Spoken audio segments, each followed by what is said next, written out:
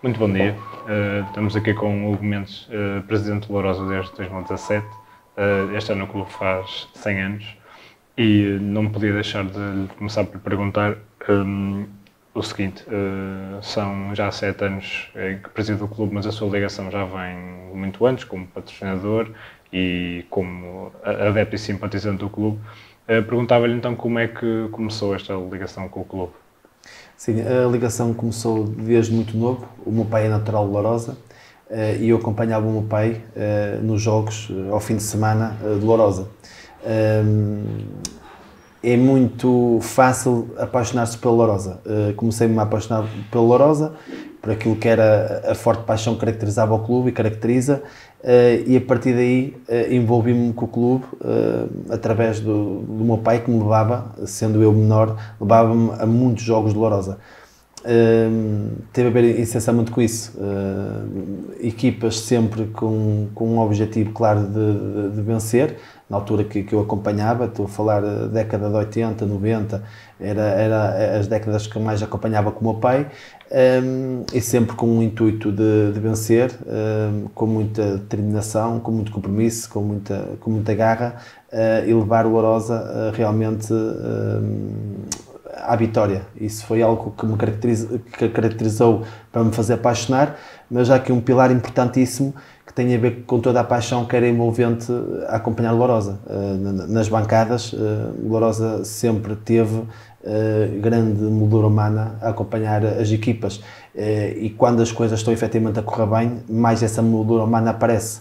Um, como eu referi há pouco, como acompanhei em décadas que, que Lourosa tinha bons plantéis, essas molduras humanas acompanhavam claramente o Sal Rosa, os seus sócios, simpatizantes, e isso também fez-me apaixonar dentro de campo e fora de campo. O Hugo é é um dos rostos, ou se calhar o rosto principal de uma ascensão, podemos dizer, relativamente rápida do clube. Há cerca de 5 anos estava nos campeonatos distritais, eh, mas nada se faz eh, com uma só pessoa e perguntava-lhe quais é que são as principais mais-valias da sua equipa de trabalho.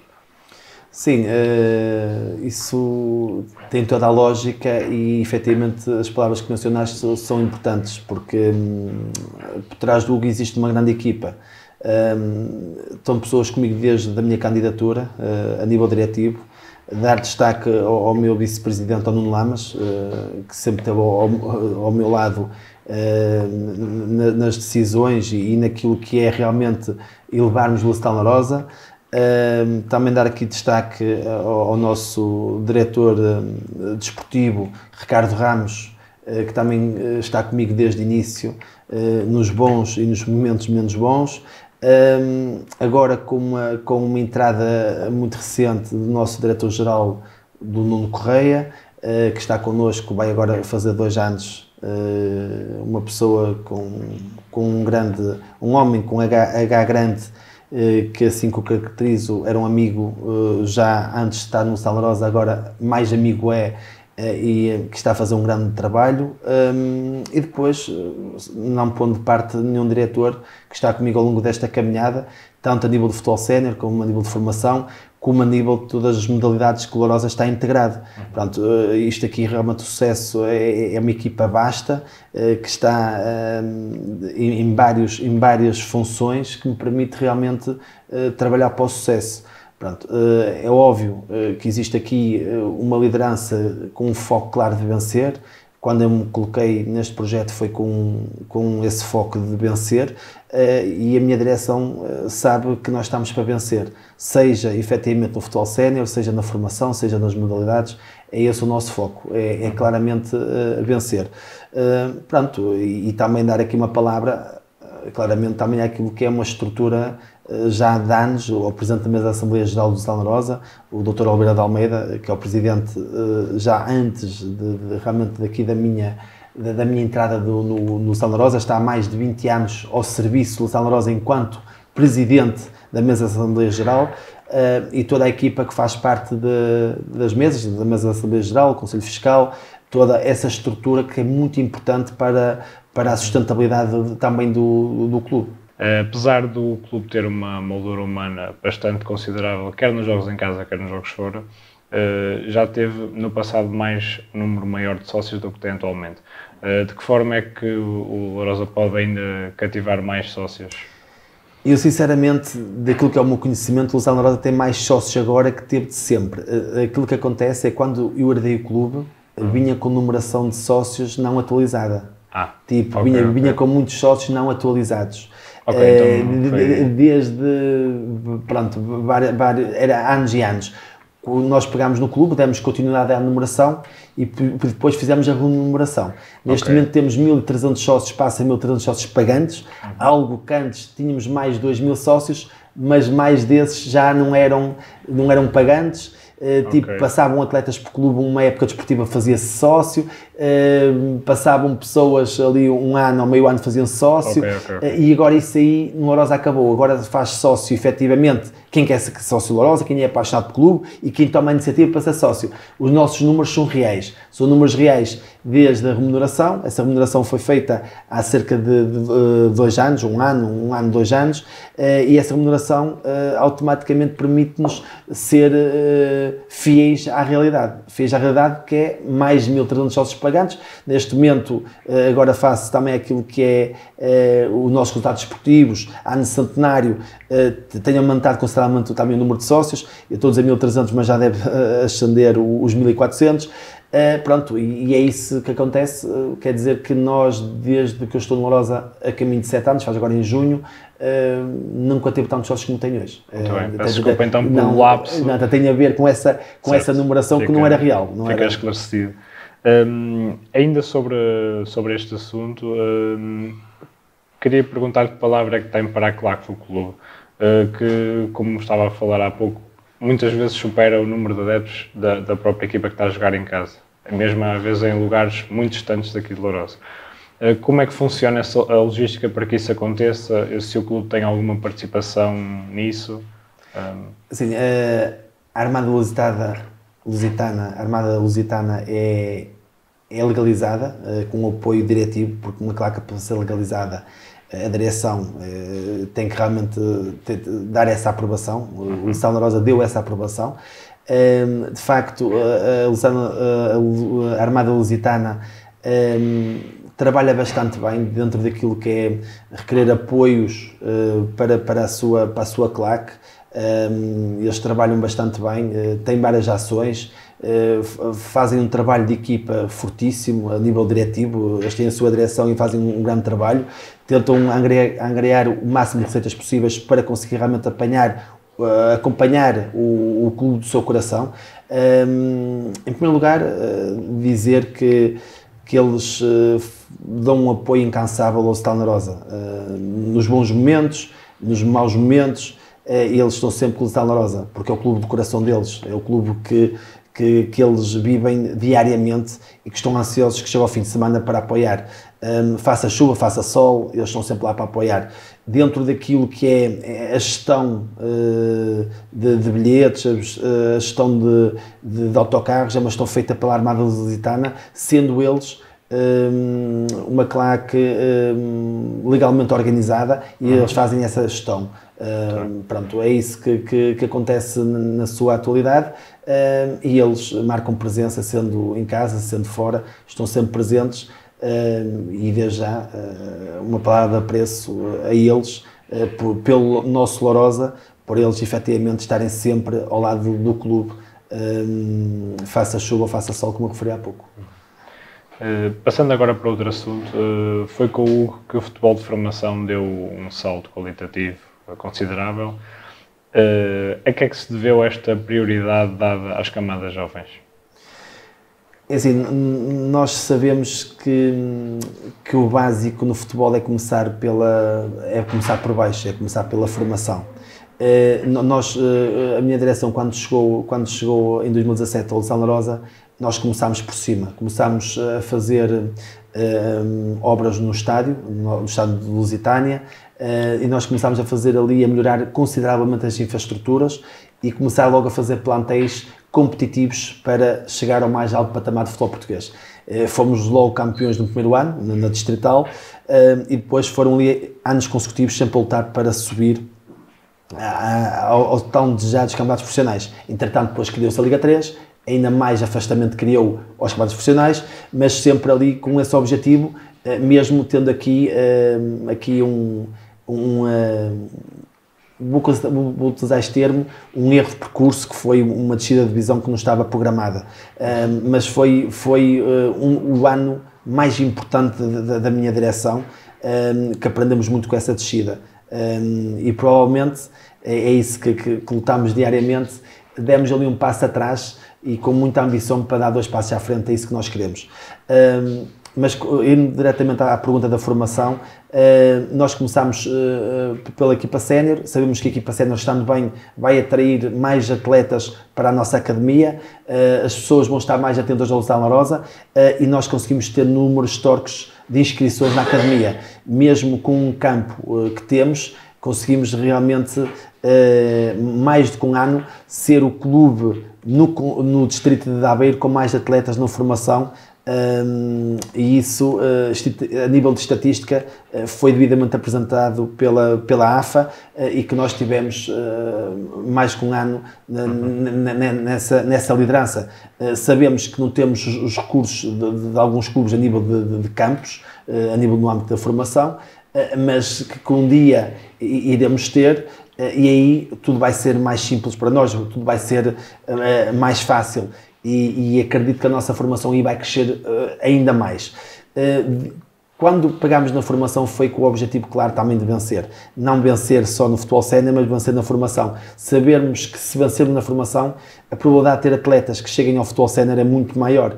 Mesmo assim, considero que não estamos a ter os dividendos que gostaríamos de ter. Uh, conseguimos ter na época transata com a tão, subida, a tão desejada subida de divisão dos Júniors à primeira divisão nacional. Conseguimos ali ter vários jogadores que hoje representam a equipa sénior e também com a criação da equipa B conseguem ter um crescimento e a maturação para um dia também chegar à equipa sénior. Um, é esse, é esse o nosso trabalho. Temos os júniores realmente na primeira nacional, temos os juvenis na, na, na segunda nacional, uma ambição de, de, fazer subir claramente os iniciados também aos nacionais e o objetivo é ter o futebol de 11 todo nos nacionais para captar uh, atletas também eh, de excelência para um dia realmente crescerem com a camisola de Salnorosa e chegarem aos altos palcos, tanto de futebol nacional como o, o, a nível internacional. Uhum. É esse o nosso objetivo. Neste momento, uh, sabemos que temos que evoluir a nível de infraestruturas, uh, temos dois campos projetados para fechar aqui o, o, circuito da nossa academia. A nossa academia tem um, lotação para três campos, temos um, há a possibilidade, efetivamente, de mais dois, já estão planeados esses dois campos, um, mais um sintético e um relevado, um, e quando digo fechar o circuito, estou-me aqui a, a, não referir aqui algo que é muito importante, para fechar efetivamente o circuito, uh, também está integrado um pavilhão para as modalidades do Talnarosa, que isso é, é um projeto muito ambicioso e um projeto uh, que no futuro um, acredito que irá ser concretizado. Um, essa situação uh, de, das infraestruturas é muito importante, mas nós temos que medir investimentos. Aquilo que estávamos a falar há pouco da sustentabilidade é muito importante uh, gerir financeiramente um clube. Sabemos os investimentos que temos de fazer nas infraestruturas de, de, de equipa sénior principal. Uh, Alcançada dos profissionais, temos ali muito investimento para fazer, desde iluminação, que é um grande investimento, desde cadeiras de plástico, desde de recuar muros uh, nas bancadas, porque tem que haver afastamento desde o retângulo de jogo até as bancadas obrigatórias que nós temos que recuar, isso é algo que, que, que tem que ser feito e mais investimento. Dentro de medir esse investimento, que é um investimento pode ter que ser feito uh, a poucos dias, de um investimento que realmente que é para o futuro, que é muito importante, que é os dois campos, que vamos fazê-los ao mesmo tempo, uh, temos que fazer essa conjugação de, de, de, investimento. Dar aqui uma nota, todas as obras que fizemos no estado principal foram obras válidas e sempre que os pés bem assentos no chão para os profissionais, Quer dizer que tudo que vamos fazer é algo que nunca fizemos, vamos efetivamente agora melhorar. Aquilo que foi feito não vamos destruir para melhorar. Foi bem feito, temos a nossa bancada principal dos associados, é uma bancada que se investiu bastante, já está projetada para os profissionais, não temos de fazer nenhuma obra. Também a nível interno ou interior, a nível de balneários e tudo isso, também fizemos ali obras definitivas. Temos é que fazer ali uma outra ampliação. Se temos um balneário só para a equipa, temos de ter mais um para a equipa técnica. pronto, e, e, são, são, essas, são essas obras que nós fizemos, sempre a pensar no futuro. Há mais para fazer. Na nossa formação também existem os seus campos. Não temos neste momento projetado iniciar o, o, o tão desejado pavilhão também, não temos. Não, isso não é algo que está projetado nos próximos anos, enquanto a minha direção efetivamente estiver no Sal Mas aquilo que estamos projetado efetivamente é criar as condições máximas à equipa sénior e criar a seguir, uh, e esperemos que, que, seja muito breve, uh, começar aqui estes dois campos que, para realmente darmos mais condições à nossa formação. Orgulhamos-nos pelo trabalho da formação, efetivamente, a nível de resultados esportivos e daquilo que já saiu nestes sete anos a nível de, produtivo de atletas da, da, da, da formação Uh, criámos a equipa B para reforçar a formação. A equipa B é uma transição da formação para, para, para a equipa sénior. Uh, consideramos que seria muito importante para nós. Estão a fazer uma excelente época desportiva uh, e, e, também com a possibilidade de subir a divisão ao Campeonato Sabseg. algo que quando eu iniciei enquanto presidente foi onde eu comecei e agora tem uma equipa B que tem essa possibilidade também de estar lá. pronto, isso também demonstra o trabalho que, que efetivamente estamos a fazer no âmbito da formação e automaticamente ligado também àquilo que é o futebol sénior. Uh, começando, um dos momentos mais felizes de, vivendo Lourosa foi o meu primeiro dia de presidência. No dia que efetivamente um, os associados confiaram em mim uh, a presidência do clube, um, em Assembleia Geral. Isso para mim uh, foi, foi o, o, o principal dia. depois disso, a, a subida de divisão eh, logo no primeiro ano de presidente, uh, que me marcou bastante, uh, marcou-me mesmo bastante, num campeonato também muito desafiante, que muitos queriam realmente também lutar para essa subida, e o Santa Rosa conseguiu realmente subir até depois de uma forma relativamente tranquila. Um, a subida de divisão na época transata foi algo que, que, que, me marcou mesmo muito. Um, aquele golo aos 92 minutos marcou-me positivamente e fiquei bastante emocionado. Uh, algo que nunca tinha sentido uh, na minha vida a nível desportivo, nunca, nunca tinha sentido nada parecido. Uh, que quero destacar esses três, esses três pontos enquanto presidente. a minha eleição, a subida da, a subida da, da, da Distrital e a subida Acabado de Portugal à Liga 3. e depois, enquanto, enquanto apaixonado pelo clube, enquanto adepto, Uh, marcou-me a ida ao balado com o meu pai, dentro do autocarro, que, que, que a cidade efetivamente parou e os simpatizantes uh, e sócios de Lourosa foram todos até aos estádios de Albalade e, e marcaram ali uma mancha preta e amarela e eu fui a esse jogo juntamente com o meu pai nos, nos dezenas de autocarros que foram acompanhar o Santa Rosa. Um, marcar também o jogo em casa com, o Belenenses, também nesse âmbito da, da, da, Taça de Portugal.